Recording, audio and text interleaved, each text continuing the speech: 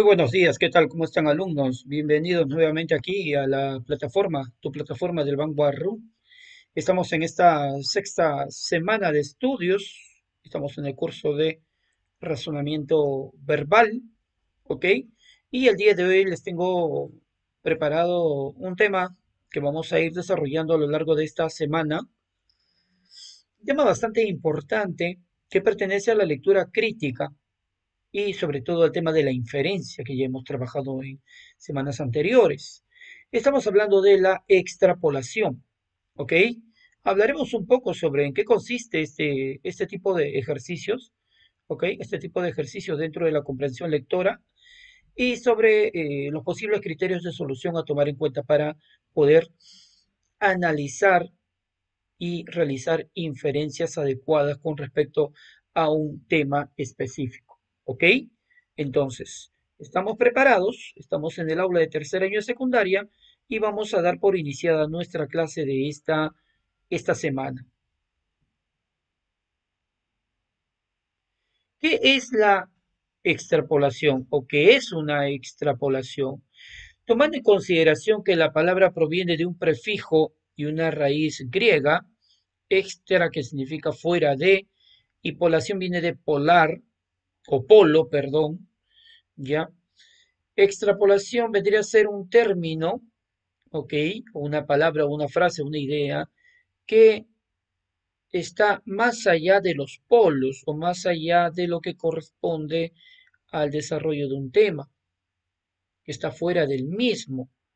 En este caso, tomando en cuenta al tema de la comprensión lectora, una pregunta de extrapolación lo que planea ya en sus líneas generales es una modificación en la configuración de una situación o condición en la que actúa la tendencia de los hechos referidos en un texto original, o sea, ir más allá de los hechos referidos en un texto.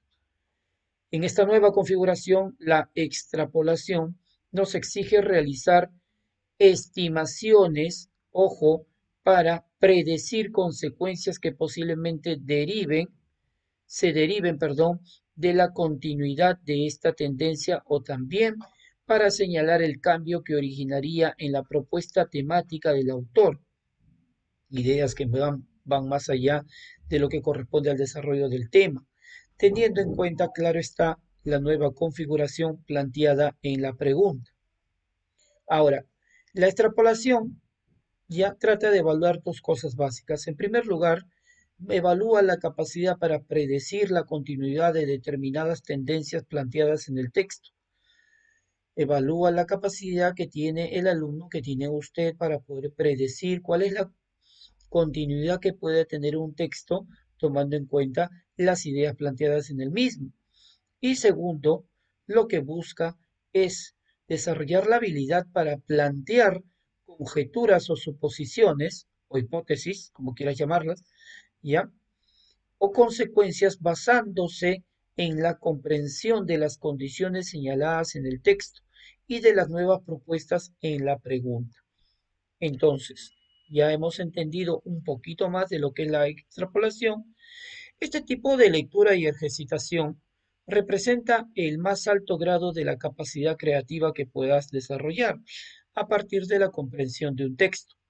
Ojo, esto pasa por diversos niveles de la lectura y la comprensión de textos. Si no estás habituado al desarrollo de una buena lectura y su posterior comprensión, no vas a poder analizar la extrapolación del mismo, porque esto está en un nivel o en un grado mucho más alto de ejercitación dentro de la comprensión lectora. ¿ok? Implica, en efecto, usar el mismo texto planteado o una parte de él como un trampolín para poder llegar a dimensiones insospechadas, para soltar, o perdón, para saltar a través de cualquier conocimiento hacia un nuevo campo. Supone crear casi todo a partir de un punto de apoyo suministrado por el escrito. En el campo científico, la extrapolación es un método científico lógico que consiste en suponer que el curso de los acontecimientos continuará en el futuro, o sea, habrá una consecuencia, convirtiéndose en las reglas que se utilizarán para llegar a una nueva conclusión. Es decir, se afirma a ciencia cierta que existen unos axiomas o verdades o evidencias que son extrapolables a la nueva situación, que se pueden adaptar a la nueva situación. Por ejemplo, vamos a hacer una extrapolación de este primer texto, ¿ok?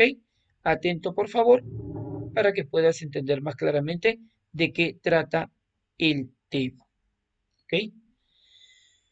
Es extraño que exista una palabra para designar algo que en rigor no existe, el reposo. Hacemos distinción entre materia viva y materia muerta, entre cuerpos en movimiento y cuerpos en reposo. Este es un punto de vista primitivo. Lo que parece muerto, una piedra, por ejemplo, está en realidad en eterno movimiento. ¿Ok? Lo que ocurre es simplemente que nos hemos acostumbrado a juzgar por apariencias exteriores, por las impresiones engañosas que recibimos a través de nuestros sentidos.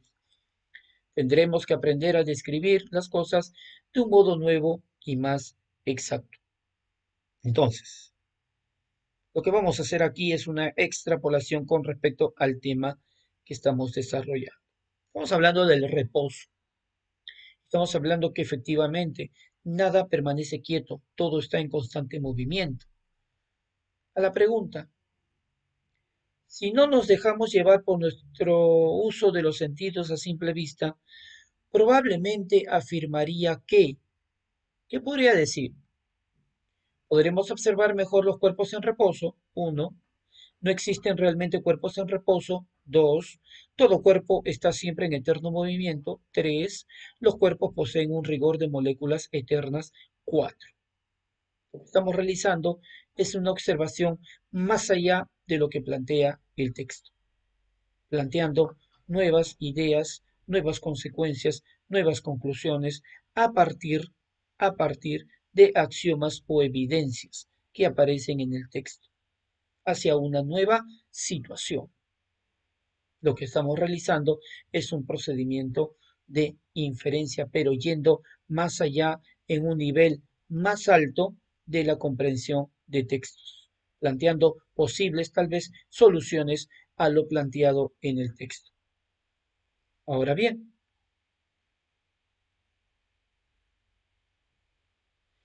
responder una pregunta a una pregunta de extrapolación supone que el lector, usted, haya comprendido cabalmente el texto, pues implica una capacidad afinada para obtener inferencias. Entonces, por conclusión, entendemos que la extrapolación es un procedimiento de inferencia, es un tipo de inferencia. Así es que a partir de allí vamos a empezar a desarrollar algunos ejercicios planteados para el día de hoy. Lee y responde correctamente. Vamos con el texto número uno. A veces hace falta renegar y sentir que la humanidad da vergüenza, que la sociedad está enferma y que uno puede ser lo que quiera menos ser el psicoanalista del otro. A veces hace falta dormir de más, comer por gula, sentir que se odia a quien se dice querer. A veces hace falta sentarse solo en el parque, dejar que se caiga el helado, que la mirada esté perdida en la nada, ir a un sitio porque sí, callar, otras escuchar, a veces hace falta detenerse a ver pasar el tiempo. A veces vale la pena confrontarnos, a veces no queda más que darle lágrimas a la nada, a veces hace falta confiar, creer, dar crédito a la palabra del otro. A veces hace falta fregarse. A veces hace falta dejarse de hacerse películas. Interesante, muy interesante. Como siempre, podríamos realizar una segunda y hasta tercera lectura del mismo para poder comprenderlo en primer lugar y luego hacer inferencias o extrapolaciones. A veces hace falta renegar y sentir que la humanidad da vergüenza. Que la sociedad está enferma y que uno puede ser lo que quiera menos ser el psicoanalista del otro. A veces hace falta dormir de más, comer por gula, sentir que se odia a quien se dice querer. A veces hace falta sentarse solo en el parque, dejar que se caiga el helado, que la mirada esté perdida en la nada, ir a un sitio porque sí, callar, otras escuchar. A veces hace falta detenerse a ver pasar el tiempo. A veces vale la pena confrontarnos, a veces no queda más que darle lágrimas a la nada, a veces hace falta confiar, creer, dar crédito a la palabra del otro, a veces hace falta fregarse, a veces hace falta dejar de hacerse películas. ¿Mm? Entonces, ¿cuál es el tema del cual trata el texto? Creo yo que el tema en el cual gira todo esto que acabamos de leer es a veces hace falta ser ser humano. Esa es mi idea. Veamos algunas preguntas. ¿Qué postula el texto? A. A veces hace falta. B. Tenemos que buscar un porqué. C. La vida es hermosa. D. A veces hace falta vivir. O E. Necesitamos renegar para vivir. Lógicamente yo me voy por la alternativa D. No sé tú qué piensas. Analízalo un momento y de eso se trata, de vivir y de no privarse de las cosas hermosas y bellas que existen en la vida. ¿Ok? O de cada circunstancia que puedas gozar de la misma, sin privarte de nada, absolutamente de nada, porque después cuando estás en desgracia te vas a arrepentir de no haber hecho una o tal cosa, ¿no? Porque al final de cuentas, ¿qué somos todos? Somos seres humanos y en el camino tenemos que equivocarnos para aprender, pues, ¿no? No somos perfectos como tales, estamos propensos a equivocarnos. Así que el texto postula a que a veces hace falta vivir y vivir como debe ser. Entonces, hemos hecho una extrapolación del mismo, hemos ido más allá de lo que plantea el texto. El autor señala que el vivir es una necesidad existencial desde el punto de vista de cada persona. ¿Ok? Y eso, lógicamente, hay que tomarlo en cuenta desde el punto de vista de cada persona y cómo lo va a vivir, cómo va a vivir su vida de la mejor manera. Al final de cuentas, cada quien es consciente de lo que hace y es esclavo de sus propias decisiones. ¿Ok? Entonces vamos con la pregunta número dos, interesante texto. Según este, si siempre actuáramos rutinariamente, A, no tendríamos un estilo de vida, B, no disfrutaríamos de esas pequeñas cosas que nos prohíben siempre. C, no existiría parámetros para hacer lo que queremos. D, que la vida es un plano únicamente terrenal y no celestial. E, me suicidaría por decepción. Ok, yo ya tengo mi respuesta, espero que tú también la tengas. ¿Sí? Estamos en un nivel superior de la lectura crítica si no has comprendido el texto, menos vas a poder realizar extrapolaciones. Te vuelvo a repetir, no te vayas a sentir mal, pero este es un proceso que ha comenzado desde antes de ingresar a la educación secundaria y que a estas alturas, a un paso de ingresar al cuarto año, ya deberías de manejar. Vamos con la pregunta número tres. Para sentir la vida y sus pequeños goces, probablemente afirmaría que A. A veces hace falta romper esquemas y disfrutar sin importar el que dirán. B. A veces hace falta dinero para comprar lo que anhelamos. C. A veces hace falta entender la filosofía de la vida. D. A veces hace falta creer en un ser divino. E. A veces hace falta creer en nosotros como apoyo único. Interesante. Entonces, así estaremos desarrollando este y otros textos importantísimos, ¿ok? Importantísimos en donde buscaremos algo más allá que una simple comprensión lectora. Estaremos infiriendo, tratando de buscar posibles consecuencias y o soluciones a los temas planteados. Estaremos realizando, por lo tanto, extrapolaciones de los mismos. ¿Mm? ¿Qué te pareció el tema? ¿Interesante? Espero que sí. Estaremos desarrollando un sinnúmero de ejercicios para poder, sí, para poder comprender mucho mejor este tema importantísimo dentro del desarrollo del curso de razonamiento verbal. Muchas gracias por revisar el material de esta semana.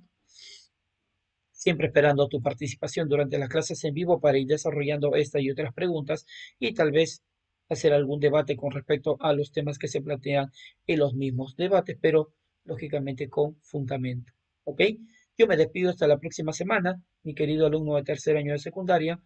Un fuerte abrazo para cada uno de ustedes, especialmente para los que revisan el material. ¿Ok? Nos estamos viendo el próximo lunes, ¿sí? Hasta pronto. Bye bye.